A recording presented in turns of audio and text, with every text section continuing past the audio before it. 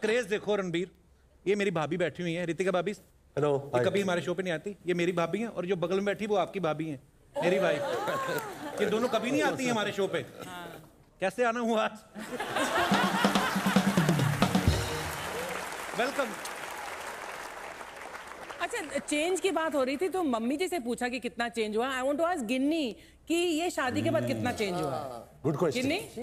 उसको पता नहीं मैं पहले कैसा था। पता है उसको। मेरे सामने तो सुधरा हुआ रहता है। घर से निकलता है फिर मैं कोई गारंटी नहीं ले सकती। घर से निकल के यही तो आता हूँ नेटफ्लिक्स पे उसके बाद फिर घर चला जाता हूँ। बीच में गाड़ी में क्या कर लूँगा मैं? कुछ ना कुछ तो मतलब घर में मैं कोई बात करूँ फालतू बातें मत करो। यहाँ पे लोग मुझे फालतू बातों को पैसे देते हैं। इसको मुफ़्त में सुनने को मिलती ना। बट गिन्नी कितना अच्छा डायरी है ये बताना। बेस्ट डैड हैंड्स ऑन है? Best yes? ऑफ़ कोर्स लड़ाई डलवाओ हुआ घर में आप। इनका यही काम है। इसने नहीं किया। मैं तो बेटी को मैं ही संभालता। ये तो दूसरा बच्चा पैदा करने में लग गई। तो मतलब आई मीन टू से तो वो मेहरबानी किसकी थी? हैं? वो मेहरबानी किसकी थी? हाँ। मेहरबानी।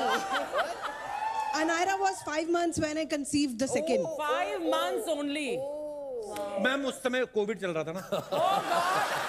आई मीन शूट वूट हो नहीं रहे थे तो ऐसा मतलब इनसे माइक ले लो कोई। मैं रणबीर का कहीं तो इंटरव्यू में कहीं तो देख रहा था जिसमें ये बोल रहे थे कि राहा के आने के बाद अब मैं टाइम पे पैकअप होता है मैं घर निकल जाता हूँ अच्छा। मैं पार्टीज़ वार्टीज नहीं जाता हूँ पर ये ये वाकई बड़े खूबसूरत चेंज है।